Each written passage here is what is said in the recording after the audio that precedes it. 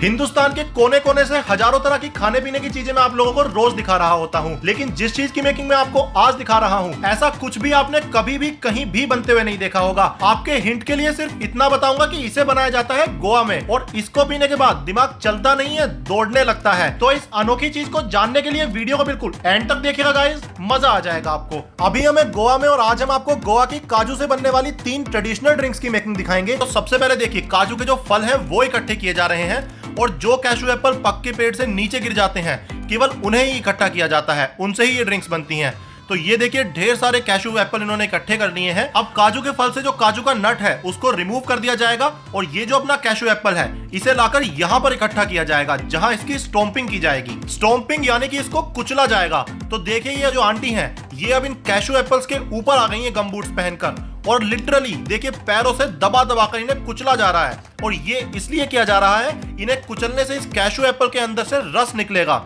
उस रस से यहाँ पे ड्रिंक्स तैयार की जाएँगी।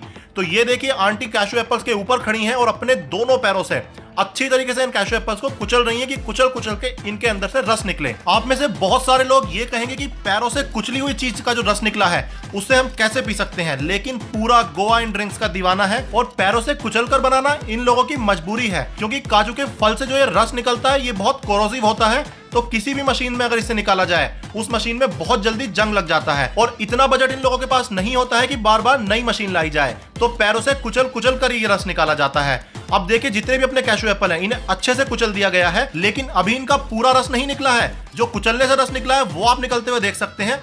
बाकी अपने बचे हुए कैशू एप्पल को देखिए, इकट्ठा किया जा रहा है। इकट्ठा करने के बाद देखिए, इन्हें एक प्लास्टिक की बोरी के अंदर बाँध दिया गया है। और इसके ऊपर लाकर एक बहुत बड़ा पत्थर रख दिया है, जिसके वज़न से दब दब कर और रस निकल रहा है। और इसके ऊपर एक और पत्थर रख दिया है। तो अब इन पत्थरों के वज़न से दब दब कर रस निकलता रहेगा और उसे इकट्ठा किया जाएगा। तो ये देखिए, ढेर सारा रस ये निकल के इकट्ठा हो चुका है काजू के फल का।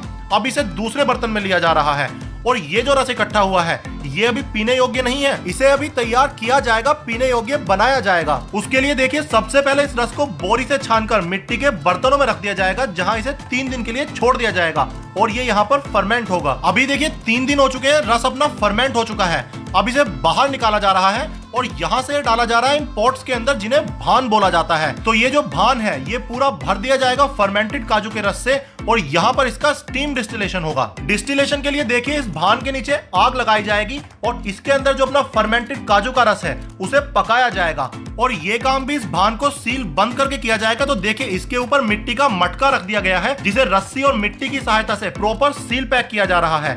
कि इस काजू के रस के गर्म होने से जितनी भी वेपर बने, जितनी भी भाप बने, वो बाहर ना निकल पाए। नीचे इसकी आग जलती रहेगी और अगले ढाई से तीन घंटे तक ये गर्म होता रहेगा। और जो भाप बनेगी, वो आप देखिए इस भान में एक पाइप जुड़ा हुआ है। उस पाइप के थ्रू ये आग जाएगी आगे इस पानी के टैंक में, जहाँ पर ठंडा पानी भरा रहता है। उस ठंडे पानी में ये जो भाप है, वो कूल डाउन हो जाएगी और कन्वर्ट हो जाएगी इस लिक्विड में, जिसे बोलते हैं उर्राक तो ये जो उर्राक है, इसमें 10 से 15 परसेंट एल्कोहल होती है और इसकी बनी कॉकटेल्स पूरे गोवा में फेवरेट है। लेकिन उर्राक मेन प्रोडक्ट नहीं है मेन प्रोडक्ट है फैनी।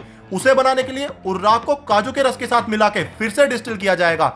और तब जो लिक्विड बनेगा, वो होता है फैनी जिसमें कि 40 से 50 परसेंट एल्कोहल होती है। और इसके लिए गोवा में दीवानगी नेक्स्ट लेवल है, जहाँ इन दोनों प्रोडक्ट्स के अंदर एल्कोहल होती है, वहीं इस प्रोसेस के दौरान एक और लिक्विड बनता है, जो कि नॉन एल्कोहलिक होता है। वो होता है काजू के कुचले हुए फल को सबसे आखिर में दबाने के बाद निकला हुआ लिक्विड जिसे नीरो बोलते हैं, और ये गर्मियों में बहुत ठंडक देता है। ये तीनों ही ड्रिंक्स गोवा की ट्रेडिशनल ड्रिंक्स और पिछले 400 सालों से यहाँ पर बनाई जा रही हैं, और इन्हें बनाने में लगती है बहुत ज़्यादा मेहनत। बट क्योंकि ये अल्कोहलिक है और मैं ड्रिंक नहीं करता हूँ तो आपको पीकर नहीं बताऊँगा।